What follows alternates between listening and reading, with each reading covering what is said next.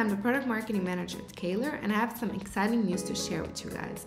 We integrated the functionalities of our Confluence apps, MacroSuite and Content Viz. For users of both apps, we unlock extra content formatting options in Content Viz, so you can customize your overviews and make your spaces, pages, and blogs stand out even more. Keep watching to find out more. So I will start off by inserting the content ContentWiz macro and then choosing the right content type.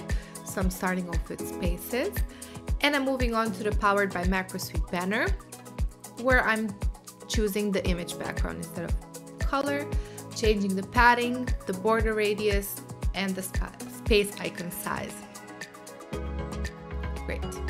Now I'm switching to manual and I'm gonna select my space.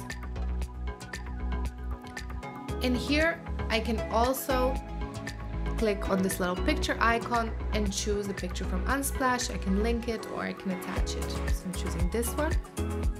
Great. Next, we're off to people, where I manually inserted myself and then changed the background into image. I'm also changing the padding, the border radius, decreasing the picture size.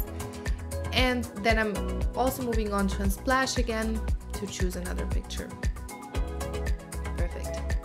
Next, I'm gonna show you blog posts. So I'm just gonna start off by removing some elements I don't want displayed.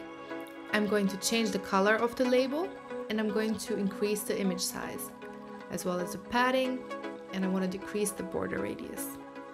Perfect. I'm going to click save, change the width and see how it looks published. Perfect. I hope you've enjoyed the video. If you would like to learn more or have any questions for us, just reach out. You can also book a free demo with one of our Confluence experts. Thanks for watching and see you in the next video.